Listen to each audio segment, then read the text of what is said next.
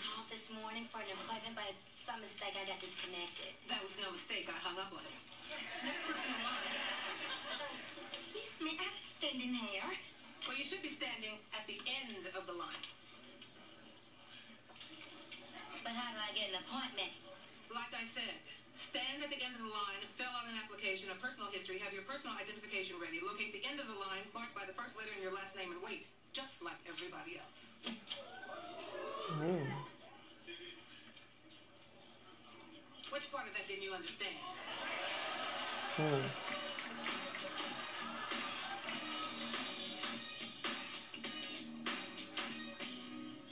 Next! Next! I missed you too. Filled out application, personal history, personal Beat you identification. to it. Whitley Gilbert Wayne. That's. Which name will you be filing under? I'm Gilbert Wayne. I'm a newlywed. I guess my invitation got lost in the mail. Uh-huh. Which is your married name? Wayne, really, but I go by Gilbert hyphen Wayne. Then you should be standing in the W line. Next! Okay, Gilbert.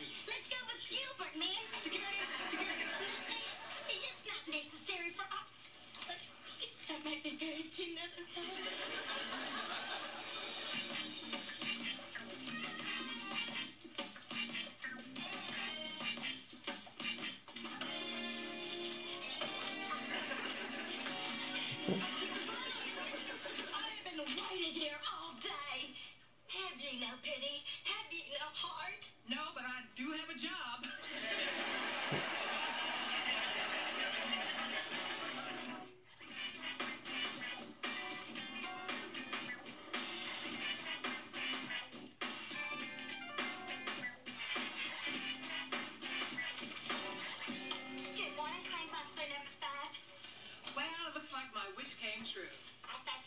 the G line. Oh, I do get around.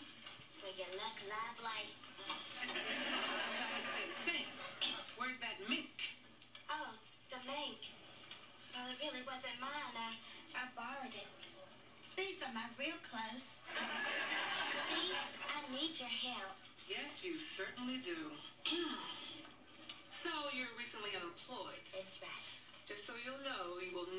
eligible for benefits if your dismissal was due to any kind of misconduct in the workplace, was it? Oh, no, I didn't do anything wrong. My unemployment was a direct result of cutbacks due to the recession, claims officer number five. What is your real name? Claims officer number five. so I can assume this is an accurate account of your previous earnings? Yes, in those glory years. Well, before